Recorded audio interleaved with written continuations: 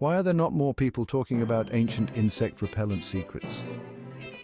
Let's dig into the Mayan wisdom. The Mayans were geniuses, not just in math and astronomy, but also in dealing with mosquitoes.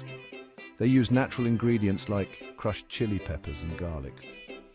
Yep, the same stuff you have in your kitchen. Another trick, burning copal resin. This aromatic smoke kept mosquitoes at bay and made everything smell divine. Talk about a win-win. Get this, Mayan homes were built with good airflow to keep bugs out. Smart, right? Plus, they planted certain trees like the neem tree, known for its mosquito-repellent properties. So next time you're swatting away mosquitoes, remember the Mayans had it all figured out centuries ago? Who knew history could be so handy? Intrigued? Hit that like button and subscribe for more ancient life hacks.